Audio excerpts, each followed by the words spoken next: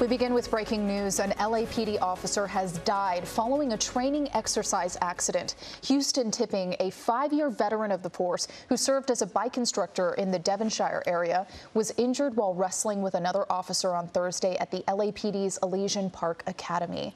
Good evening. I'm Veronica Miracle. And I'm Jory Rand. Officer Tipping fell to the floor and suffered a catastrophic spinal injury. Officers immediately began CPR and Tipping was taken to USC Medical Center but he succumbed to his injuries earlier today.